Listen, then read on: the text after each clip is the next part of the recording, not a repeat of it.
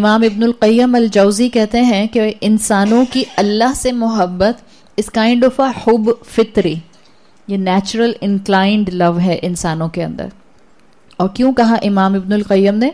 इसलिए कि रसूलुल्लाह सल्लल्लाहु अलैहि वसल्लम की हदीस आती है, जिसमें आता है, कुल्लू मौलूदिन यूलदु अलल फित्रा, हर बच्चा जो पैदा होता है without the exception of any religion हर बच्चा जो पैदा होता है, वो फितरत पर पैदा होता है। और ये फितरत क्या है? ये फितरत वही है जो सूरतुल आराफ में अहद अलस्त के रेफरेंस से आई है। तो इमाम इब्नुल कय्यम कहते हैं कि अल्लाह की मोहब्बत टू सम लेवल हर इंसान में इनग्रेन्ड है। यानी हर इंसान में यह कैपेसिटी है कि वो अल्लाह से क्रिएटर से मोहब्बत कर सकता है। लेकिन रसूल अल्लाह सल्लल्लाहु अलैहि वसल्लम से मोहब्बत हुब इख्तियारी है। या आपको और मुझे अडॉप्ट करनी होती है। या आपको मुझे बढ़ानी होती है। हम हुब फितरी को भी देख सकते हैं, अल्लाह से मोहब्बत को भी कि जब आप ज़्यादा टाइम कुरान के साथ गुजारते हैं, जब आप ज़्यादा कुरान की बात सुनती हैं, जब आप ज़्यादा कुरान का फहम हासिल करने की कोशिश करती हैं तो आपको अल्लाह से ऑटोमेटिक क्लोजनेस मोहब्बत महसूस होने लग जाती है। सेम विल अप्लाई ऑन रसूल सल्लल्लाहु अलैहि वसल्लम। जितना उनकी सीरत के बारे में पढ़ा जाता है, ये मोहब्बत बढ़ती है। जितना उनके अखलाक उनके किरदार, उनकी नरमी और उनके किरदार की उन खूबसूरतियों के बारे में पढ़ा जाता है, जिसको हिल्म कहते हैं तो ये मोहब्बत वक्त के साथ साथ बढ़ती है। और अल्लाह ताला ने मुझे और आपको इस दीन में ये ताकीद की है कि मैं और आप अल्लाह और अल्लाह के रसूल से मोहब्बत करें। हम कुरान पढ़ते हैं, सूरह तौबा की आयत नंबर ट्वेंटी फोर में आता है। वहाँ आता है इनकाना आबा उकुम व अबना उकुम व इखवानुकुम व अजवाजुकुम व अशीरतुकुम व अमवाल तरफ़ तुमुहा व मसाकिन तरदौनहा अहब्बा इलैकुम मिनल्लाहि व रसूलिहि व जिहादिन फ़ी सबीलिल्लाहि। फतरब्बसु हत्ता याति अल्लाहु बि अमरिहि। अल्लाह ताला ने सूरह तौबा की इस आयत में मोहब्बतें और आठ मोहब्बतें गिनवाई हैं कि अगर तुम्हारी मोहब्बत तुम्हारे बेटों के साथ तुम्हारे माल के साथ, तुम्हारे घरों के साथ, तुम्हारे कारोबारों के साथ, तुम्हारे स्पाउस और रिश्तेदारों के साथ ज़्यादा है अल्लाह और अल्लाह के रसूल से मोहब्बत में और अल्लाह के रास्ते में जिहाद के मुकाबले में। अहब्बा के अल्फाज आए ना? अगर वो ज़्यादा है अल्लाह और अल्लाह के रसूल से फतर बसू तो इंतज़ार करो हत्याती अल्लाह भी अमरी यहाँ तक कि अल्लाह अपना फैसला लेकर आ जाए। सो देर इज़ अ धमकी। कि अगर तुमने अल्लाह और अल्लाह के रसूल से ज़्यादा मोहब्बत नहीं की देन वेट एंड सी कि क्या होगा, फिर अल्लाह तुम्हारे साथ क्या करेगा। रसूल अल्लाह सल्लल्लाहु अलैहि वसल्लम के हदीस में अल्फाज आते हैं, ला युमिनु अहदुकुम हत्ता अकूना अहब्बा इलैहि। तुम में से कोई मोमिन नहीं हो सकता। मुसलमान हो सकते हैं हम। मोमिन नहीं हो सकता यहाँ तक कि मैं उसको ज़्यादा अहब ना हो जाऊँ। इट्स अ सुपरलेटिव डिग्री मैं उसको ज़्यादा बिलवड ना हो जाऊँ, मैं उसको ज़्यादा महबूब ना हो जाऊँ, उसके अपने नफ्स से, उसके अपनी औलाद से, उसके अपने वालदेन से और उसके अपने माल से। यही चार चीज़ें इंसान की। मेन अपनी ज़िंदगी की एसेट्स होती हैं। आपकी अपनी आपकी अपनी जान, आपके वालदेन, आपकी औलाद और आपका माल। और रसूलुल्लाह सल्लल्लाहु अलैहि वसल्लम ने क्राइटेरिया बता दिया है कि तुम में से कोई भी मोमिन नहीं हो सकता अगर तुम जब तक मुझसे ज़्यादा मोहब्बत ना करो इनसे बढ़ के तो हमारा प्राइमरी सोर्स मोहब्बत करने का अल्लाह ताला है। इस बात को अगर हम समझ जाएँगे तो हम कभी भी किसी को किसी के मुकाम से नहीं हटाएँगे। चाहे वो हमारे अपने हो, चाहे वो हमारी जात हो, चाहे वो रसूलुल्लाह सल्लल्लाहु अलैहि वसल्लम हो। सबसे ज़्यादा मोहब्बत इंसान की अल्लाह से होती है। और हम रसूलुल्लाह सल्लल्लाहु अलैहि वसल्लम से मोहब्बत क्यों करते हैं? इसलिए कि अल्लाह ताला ने रसूलुल्लाह से मोहब्बत की है। दैट्स द इक्वेशन अगर ये समझ आएगी तो फिर हम ना अल्लाह की नाफरमानी करेंगे, ना रसूल अल्लाह सल्लल्लाहु अलैहि वसल्लम की नाफरमानी करेंगे। आप और मैं ये अगर समझ गए कि हमारे दिल में जो सेंट्रल लुब है, वो अल्लाह के लिए असाइंड है। और फिर जो अल्लाह कहता है, हम वो करते हैं। फिर जिससे अल्लाह मोहब्बत करता है, हम भी उससे मोहब्बत करते हैं तो फिर ऑटोमेटिकली हर मोहब्बत अपने मुकाम पर आ जाती है। मैं आपको एक मिसाल देती हूँ।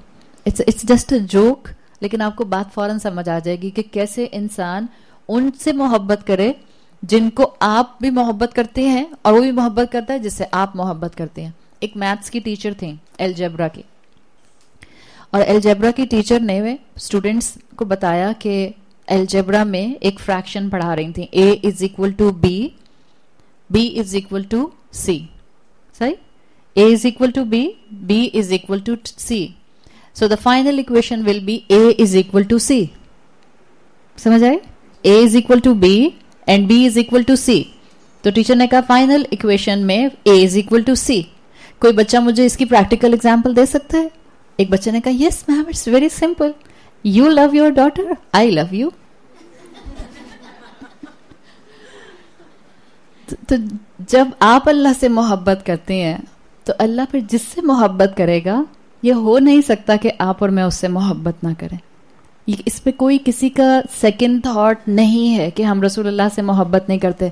हमारा यहाँ आने का मकसद सिर्फ़ अल्लाह को राज़ी करना। हम यहाँ और किसी मकसद से नहीं आते। हम यहाँ आते हैं सिर्फ़ अल्लाह को राज़ी करने के लिए। और हम रसूलुल्लाह सल्लल्लाहु अलैहि वसल्लम से मोहब्बत करते हैं इसलिए कि अल्लाह उनसे मोहब्बत करता है।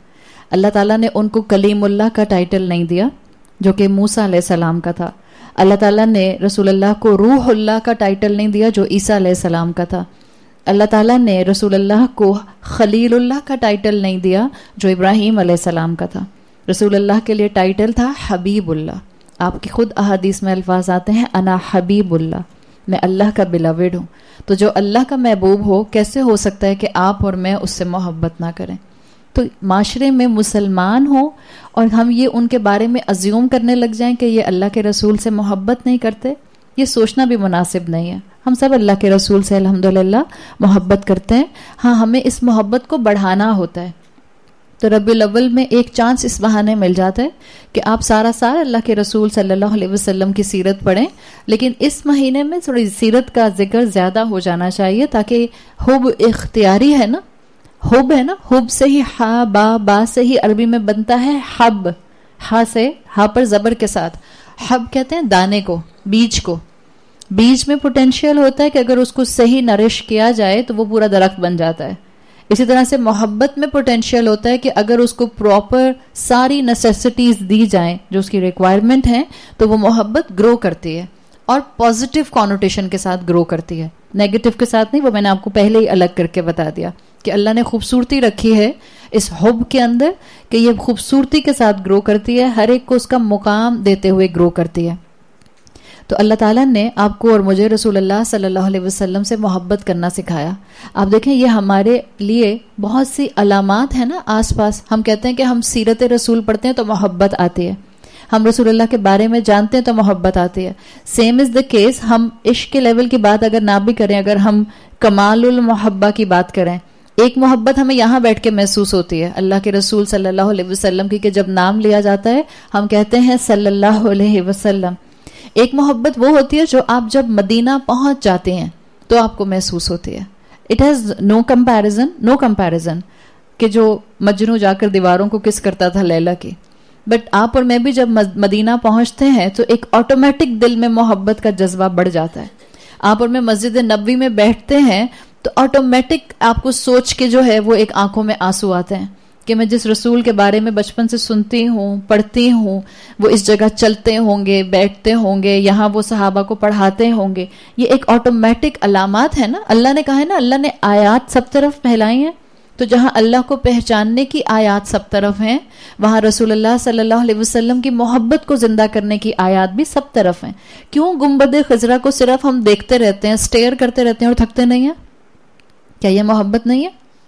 क्या उस हालाँकि वो गुंबद तो कुछ भी नहीं है? It's just of metal metal से बना हुआ है। एक वक्त में रेड कलर का था, अब उसको, उसके बाद उसको ग्रीन कर दिया गया और तब से लेकर अब तक वो ग्रीन कलर का है।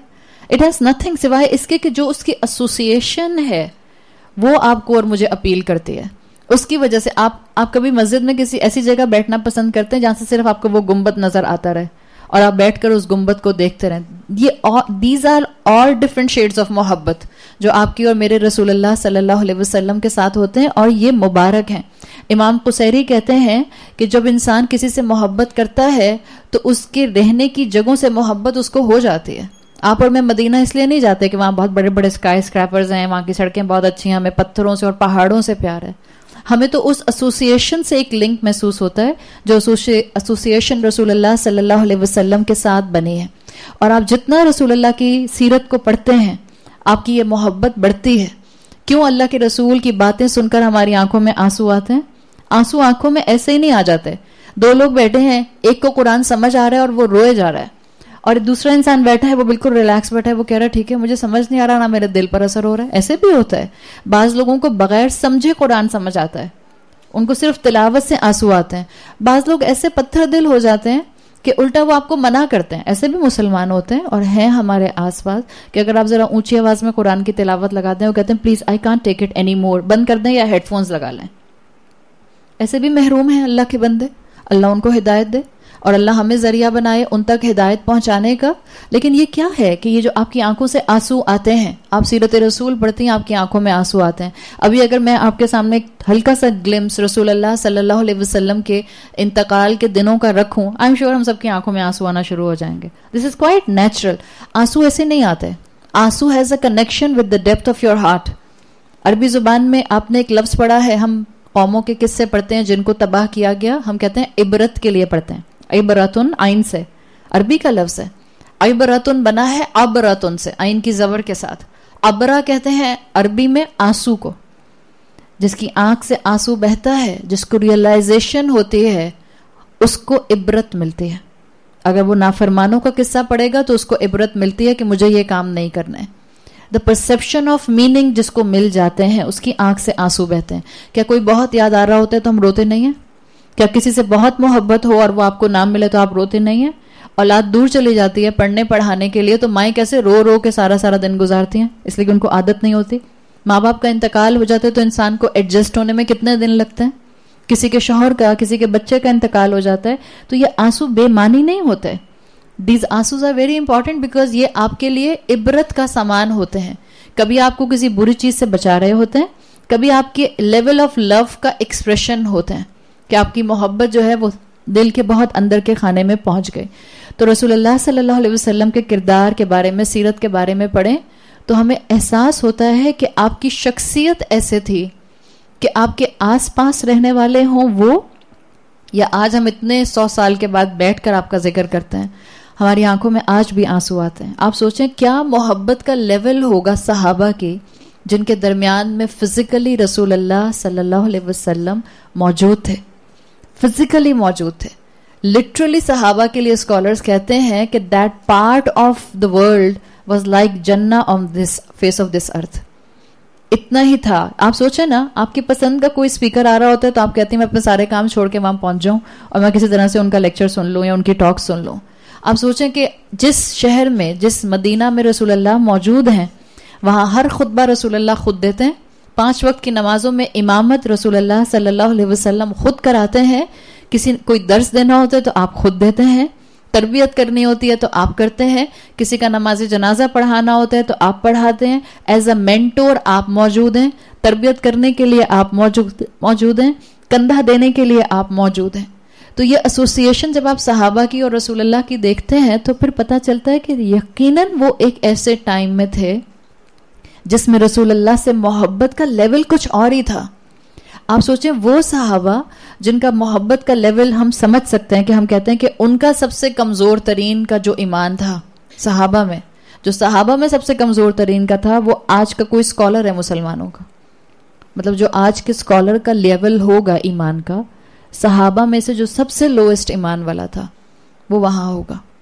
आप और मैं इमेजिन नहीं कर सकते ना उस टाइम को कि जिसमें रसूल अल्लाह सल्लल्लाहु अलैहि वसल्लम खुद मौजूद हैं, समझाने के लिए, बताने के लिए, कुरान की एक्सप्लेनेशन के लिए, और आपके किरदार को देखकर और सहाबा के अंदर मोहब्बत बढ़ती थी। अरबी की मशहूर सेंग जो सहाबा हमेशा से जानते थे, इस्लाम आने से पहले से, इसलिए कि अरबी बोलने वाले थे, वो कहते थे इतकी गदबिल हलीम जो बहुत हिल्म वाला इंसान हो जो बड़ा कंट्रोल्ड रखने वाला अपने टेम्पर को इंसान हो, जिसका फॉरबेरेंस का लेवल बड़ा हाई हो। हलीम कहते हैं, ऐसा शख्स जिसको छोटी छोटी बातों पर गुस्सा नहीं आता, जो अपने गुस्से का इजहार नहीं करता, अरब उसको हलीम कहा करते थे। और अरब की मशहूर सेंग थी इतकी गदबिल हलीम।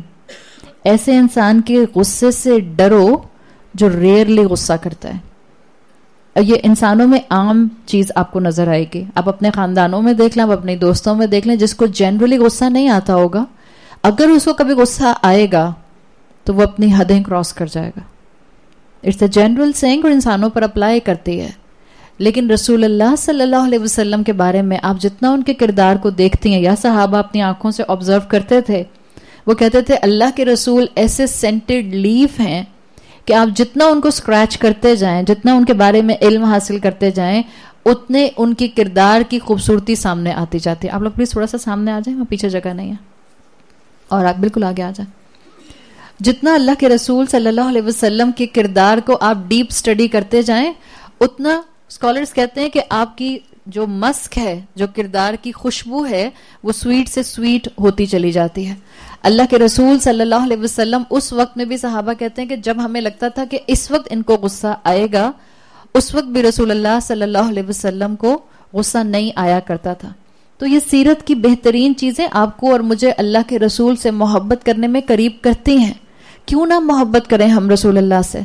एक मशहूर नरेशन जो आपको अक्सर किताबों में मिलती है, जिसमें पता चलता है कि एक मरतबा जहर के बाद हज़रत अबू बकर सिद्दीक रदी अल्लाह अन अपने घर से निकले और उनके पेट पर एक पत्थर बंधा हुआ था। पेट पर पत्थर क्यों बांधा जाता था? इसलिए कि भूख का ये आलम होता था कि मसल को ये तसल आपके स्टमक मसल्स को ये तसल्ली दिलाने के लिए कि वो कॉन्ट्रैक्शन बहुत ना करे। जब भूख बहुत लगती है तो मस, आपके जो स्टमक होता है वो ग्राउल करता है ना बोलता है। तो जब बहुत फाके होते थे जब बहुत भूख का वक्त होता था तो ये सहाबा अपने ऊपर पत्थर बाँध लिया करते थे। ताकि एक फॉल्स होप स्टमक को मिल जाए कि जैसे वो भरा हुआ है।